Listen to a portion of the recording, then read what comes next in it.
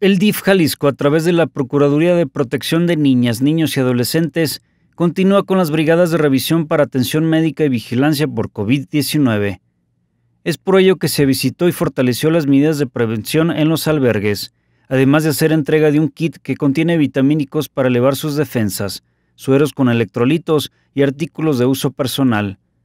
Un equipo compuesto por médico, enfermero y psicólogo se dedica a verificar principalmente la presencia de enfermedades respiratorias, además de asesorar y vigilar los filtros sanitarios establecidos.